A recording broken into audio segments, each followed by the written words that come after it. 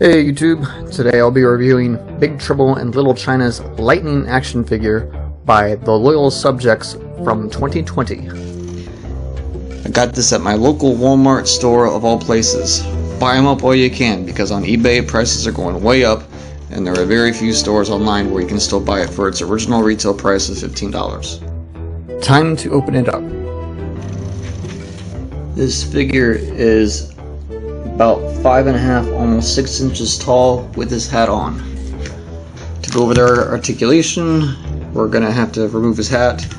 Uh, but yeah, it advertises uh, something like, uh, uh what is it, 22 points of articulation. So you do got uh, all kinds of leg movements. Oh, just so you know, a lot of his joints are super tight. So tight, like his knee joint here is so tight you almost want to take WD-40 to it. I mean, his joints are really, really, really tight.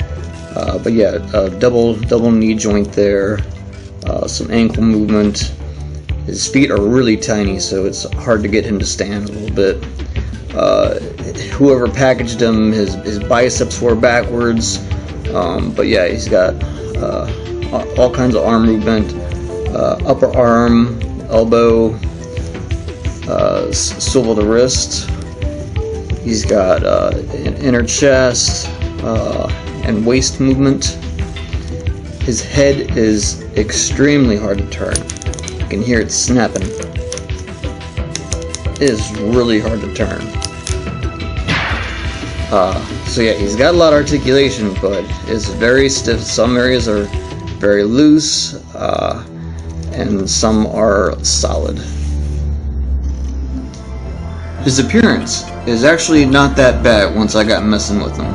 When I first saw him through the package, I'm like, oh great, he can't even put his hat on all the way down.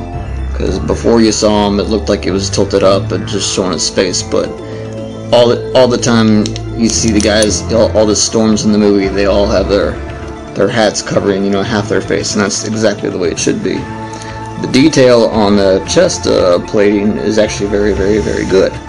Uh, they even got the little uh, dragon thing around his belt there. They got the sheath for his uh, knife, uh, which he does come with. We'll go over accessories in a minute. Uh, his cape is, is, a little weird though. They chose uh, plastic and it's glued on. I thought that was kind of weird. And it's, it's a very small dab of glue. So that, that kind of worries me a little bit. I would have much preferred a cloth cape, but I'm sure that could be done if someone were uh, very crafty enough. Um, but yeah, he's actually not too bad. Accessories to include his little knife dagger that you see him using in the movie, which does fit perfectly fine in his sheath. And yes, it does actually fit in his hand, no problem at all. Taking these hands out is always a tricky part. Highly suggest uh, for any kind of figure you want to twist and turn and pull. That way you don't just, I mean, because if you try to just rip it out, great chance you can break it. Now, one problem I noticed with his hand spinner weapon things, they don't fit across all of his fingers. As you can see, they kind of go uh, by his pinky there. I cannot for the life of me get it to go over every single finger. So that is just the way it is. In addition, I can get one to spin all the way around if I wanted to do a stop motion. But the other one, I, I cannot. There's this bump in the way, and I'll show you some close-up pictures, but, uh, so yeah, some, some problems there. And finally, as his lightning accessories go, I don't understand who designed these because uh, there's, if you look at them closely, there's no molding for it to specifically like be able to be held in his hand. It's just loose. There's there's no no holes or gaps or, or form-fitting thing. Uh, yet the back of the package shows that you can do all kinds of poses. Uh, so, little failure there on that point.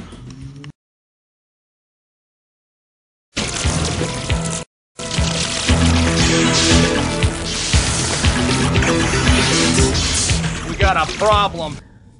Big Trouble in Little China is my all-time favorite movie. Always has been and always will be. So, of course I had to get this figure and review him. I'm just happy that they made him. Because the only other two on the market are either atrocious looking or very old and expensive and have plenty of problems themselves. This figure is far from perfect. From joint issues to accessory problems, odd choice of lack of detail in hat and cape assembly. I'm just such a big fan, I had to get him. And if you are a big fan of this movie, as I am, you should get him as well. And that wraps up my review.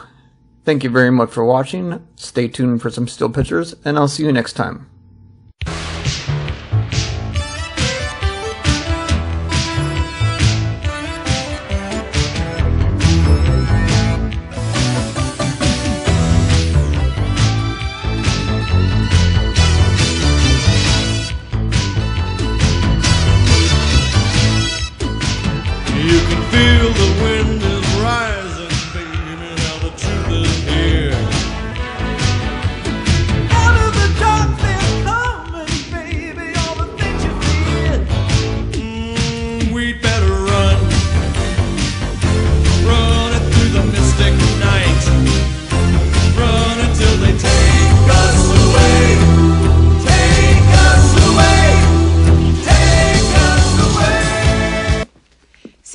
You Burton.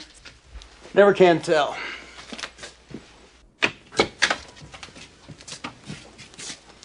Bye, Jack.